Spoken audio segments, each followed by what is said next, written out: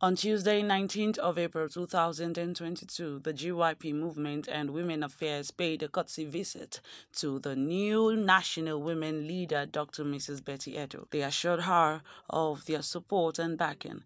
The national women leader, Dr. Mrs. Betta Edu, in receiving the kind gesture, reiterated that the party is intentional as to making women mainstreamed. She also expressed her happiness for women's participation in the process for the emergence of the next leader in the country. She also stated that women will be getting their forms for free, be it anyone intends to run for any position. This is a springboard for women to rise for the improvement of women representation in the party, ascertaining that women are very strategic in nation building. She also clearly stated that as we approach election, the women will begin a door-to-door campaign to get women to register both in the party and INEC registry. She also encouraged every woman to work hard for everyone that they believe in. She also noted that women will support candidates that are gender sensitive. To run for any position.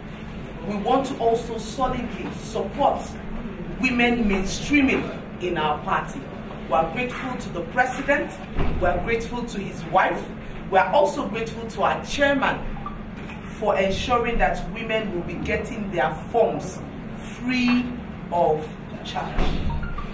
This is a springboard for women to rise, for us to improve representation for women in our party and in our nation, in nation building. Remember, women are very strategic to nation building. They have always been and will continue.